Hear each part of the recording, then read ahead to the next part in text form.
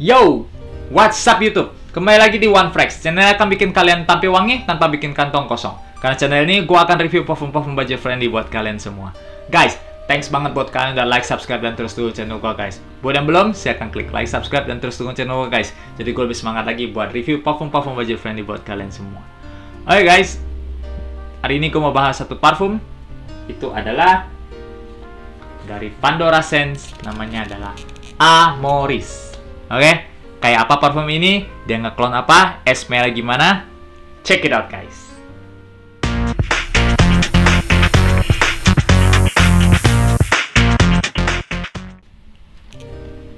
Oke guys, jadi penampakan kotaknya kayak gini guys. Oke, jadi dia eh, coklat aja dengan balutan warna emas begitu ya. Kotaknya nggak ada yang spesial. Gua dapat ini sekitar 28 dolar ya, sekitar 300 ribu lah ya.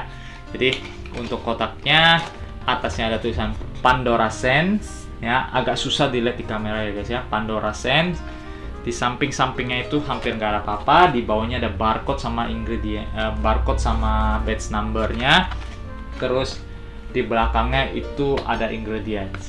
Ini gue udah cek di website dia nggak ada batch dia cuma ada satu satu batch aja ini aja jadi apa pun yang kalian beli itu sama kayak yang gue punya oke jadi kita langsung ke botolnya botolnya sendiri buat gua ini enak banget di tangan ya bu, kualitasnya bukan kualitas botol tingkat tinggi, tapi ini enak banget digenggamnya. Tutupnya juga ada sedikit berat, tapi nggak berat-berat banget. Botolnya berat, oke? Jadi tutupnya nggak klik, tapi dia agak keras, oke? Jadi untuk botolnya depannya ada Pandora Sense ya. Terus benar-benar nggak ada apa-apa lagi, ya. Jadi Pandora Amoris, Pandora Sense, nggak ada apa-apa. Tutupnya juga ada sedikit tekstur tapi udah nggak apa-apa jadi botolnya simple banget dan enak banget di tangan gimana dengan scent profile-nya itu yang paling penting dari parfum oke ini dia ngeklon uh, Bulgari Aqua Amora yang udah discontinue. Waktu Amora keluar Bulgari itu itu hype banget. Ya itu udah lama itu sekitar ya gua lupa tahun berapa itu itu hype banget dan gue beli. Ya ya memang gue pernah bilang ya katanya jangan beli parfum hype. Ya cuma waktu itu kan gue belum jadi youtuber jadi ya hype oh gue beli. Gue nonton youtuber lain soalnya juga ya kan? Ya pastilah ya kan? Jadi gue beli. Tapi itu emang enak banget itu salah satu parfum wanginya enak banget dan itu salah satu parfum yang gue pakai sampai habis ya keluarlah ini dan gue beli gue cium ini memang baunya 95% mirip sama yang origin. Oke. Okay? Cuman ada cumannya guys. Ini pas oke okay, kita kalau ngomongin scent profile dulu ya. Jadi opening ini aquatic, fresh sama orange. Orange-nya ketara banget, enak, kuat banget, enak banget. Oke. Okay? Terus dah guys. Di di dry down-nya itu dia ada sedikit bau bunga-bunga floral Oke, okay? tapi kalau kalian pikir wah bau bunga-bunga floral, oh parfum cewek yang yang feminim gitu. Enggak, enggak, enggak. Ini tetap fresh flower yang unisex dia. Enggak maskulin tapi unisex. Karena dia baunya fresh, ya. Fresh. Tapi bukan fresh fresh typical blue fragrance. Nah, yang tadi gue bilang ada cumannya guys. Wanginya enak, ya. Openingnya enak.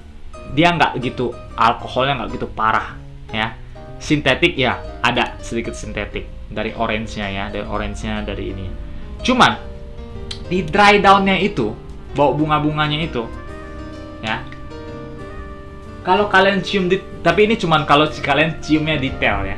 Nempel di kulit kalian ya. Kalian bisa cium ada sedikit aroma aroma pahit-pahit. Gua gak tahu itu pahit apaan. Ya aroma pahit apaan. Apa dari bunga-bunga ada wangi pahit kayak gitu gue juga kurang jelas. Tapi itu ada sedikit aroma pahit-pahit begitu. Dan itu mengganggu buat gue itu agak mengganggu ya di dry downnya. Ya jadi cuma itu sih. Cuma itu kalau kalian cium detail aja ya. Kalau nggak nggak cium sampai de deket-dekat sih nggak nggak kecium itu. Bau floralnya enak bau orange-nya tuh enak ya. Ini parfum kalau gue bilang cocok buat kalian ke pantai ya. Kalau kalian doain ke pantai tuh ya ini cocok. Dan ini parfum gue udah tes pas udaranya dingin gue tes udara panas tes ini udah ini bener-bener parfum yang jangan kalian pakai di udara dingin. Karena kenapa? Karena gue pakai ini di udara panas gue dapat longevity-nya 5 sampai 6 jam. Di udara dingin satu jam hilang. Ya ini nggak kuat di udara dingin. Jadi untuk malam hari ini kurang ya guys ya malam hari. Ya sore-sore malam hari. Ya mungkin dingin di sini sama dingin di Indonesia kan beda ya cuman ya itulah gitu. Oke okay, guys. Terus untuk silatnya sendiri satu jam masih oke okay, masih dapet. Terus projectionnya ya sekitar 1-2 meter lah ya. Medium lah nggak gitu jauh nggak begitu wow. Jadi standar aja. Longevity-nya juga 5-6 jam. Jadi bener-bener standar. Tapi untuk harganya itu oke. Okay. oke? Okay? ini bener-bener parfum yang cocok untuk musim panas. Ya udara panas makin oke. Okay. ini cocok umur segala umur. Parfum tipikal segala umur.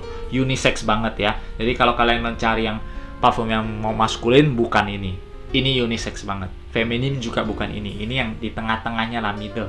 Untuk segala umur mau overspray juga oke okay, ya. Apakah gua rekomend ini? Yes gua rekomend ini. Blind buy juga safe banget. Terus gua seneng banget karena dia ngopi ngeklon parfum yang udah discontinue kayaknya tuh kayak Latava kayak Paris Corner atau Afnan atau Armaf itu ya mereka harus start buat ngeklon parfum-parfum yang discontinue kayak gini oke okay? jadi untuk overall untuk overall gua bisa kasih nilai ini 7,5 dari 10 ya 7,5 dari 10 tadi gue mau kasih 8 cuman enggak buat gue 7,5 lebih oke okay. Karena ya gini masih ada beberapa faktor yang bikin gue nggak bisa kasihnya lebih tinggi dari uh, dari uh, dari 7,5 ya itulah ada sedikit bawa parfum karena kan gue review parfum jadi gue mau kasih kalian cium eh maksudnya kasih kalian tuh yang detail-detailnya juga gitu mungkin bagi semua bagi sebagian orang nggak peduli nggak peduli lah sedetail-detail itu tapi ya ya ada aroma pahitnya gitu loh. Jadi gue nggak mau kalian beli. Ini kata youtuber ini kayak gini.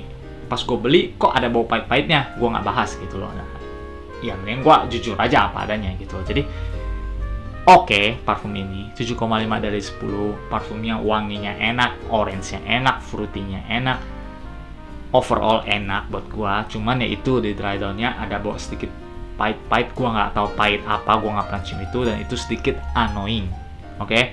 dan ini kalau kalian tinggal di negara empat musim kayak negara kayak gue di sini ya jangan pakai di musim dingin. Oke okay? karena ini si SPL-nya akan drop banget akan hilang. Oke okay, guys? Jadi segitu aja yang bisa gue bahas buat si Pandora Sense Amoris ini ya. Gue rekomend buat kalian.